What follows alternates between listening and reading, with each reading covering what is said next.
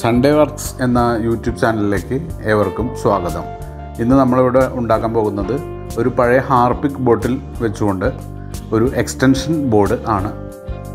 ഞാനിവിടെ ഒരു പഴയ ഹാർപിക്കിന്റെ ബോട്ടിൽ ഉപയോഗിച്ചുകൊണ്ട് ഒരു എക്സ്റ്റൻഷൻ ബോർഡ് ഉണ്ടാക്കാനാണ് ഐഡിയ ഇതിന് നമുക്ക് ആവശ്യമായിട്ടുള്ളത് ഒരു ഹാർപ്പിക്കിന്റെ ഒഴിഞ്ഞ ബോട്ടിൽ പിന്നെ രണ്ട് പ്ലഗ് സോക്കറ്റ് ആവശ്യമുള്ള ടൂൾസ് സോക്കറ്റ് വെക്കാനുള്ള ആ കൃത്യമായ അളവിൽ അത് ബോട്ടിലിന് മുകളിൽ മാർക്ക് ചെയ്തെടുക്കുക. അതിന് ശേഷം അത് നമുക്ക് കട്ട് ചെയ്ത് എടുക്കണം.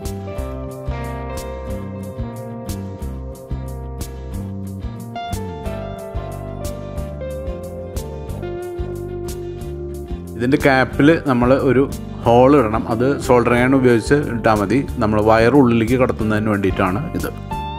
ഇതിന് നമ്മളിപ്പോൾ രണ്ട് പ്ലഗിനുള്ള സോക്കറ്റ് പിടിപ്പിക്കാനുള്ള ഹോൾ തയ്യാറാക്കി കഴിഞ്ഞു.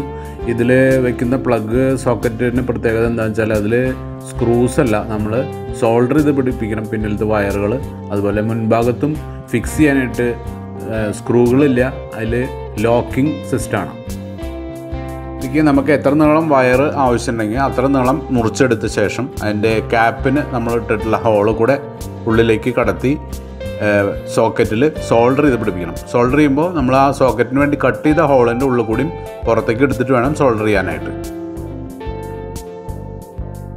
ഇതിൽ നമ്മൾ ആവശ്യത്തിന് മുറിച്ചെടുത്ത വയറിന്റെ മറ്റേ എൻഡിൽ ഒരു ത്രീ പിൻ ടോപ്പ് നമ്മൾ പിടിപ്പിക്കുന്നു.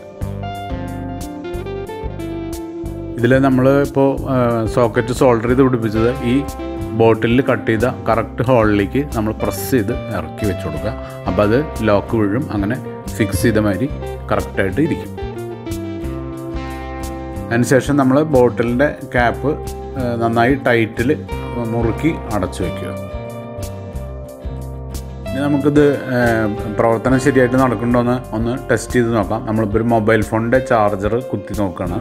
അപ്പോൾ അത് കറക്റ്റായിട്ട് വർക്ക് ചെയ്യുന്നുണ്ട്. ആ ഒന്നാമത്തെ സോക്കറ്റിൽ നമ്മൾ കുത്തി അത് ചാർജ് കയറുന്നുണ്ട് അപ്പോൾ അതുകൊണ്ട് ഇതുവരെ ഇനി അടുത്ത സോക്കറ്റിലും കൂടി വേണമെങ്കിൽ ഒന്ന് കുത്തി നോക്കാം. രണ്ട് സോ സോക്കറ്റിൽ നമ്മൾ സോൾഡർ ചെയ്തതൊക്കെ കറക്റ്റായിട്ട് ആയിട്ടില്ല എന്നുള്ളത് നോക്കാം.